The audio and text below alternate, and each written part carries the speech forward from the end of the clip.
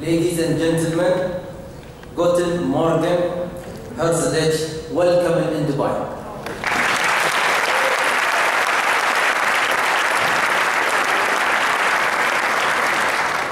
On behalf of Dubai Tourism, it gives me a great pleasure to welcome you to Dubai and the Best-Reisen Annual Conference.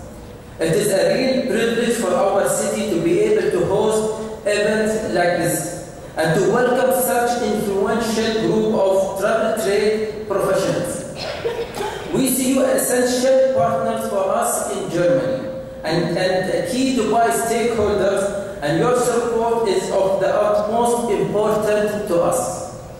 Effective partnerships have long been one of the cornerstones of Dubai's success, and the key continue to be one of the city's greatest strengths.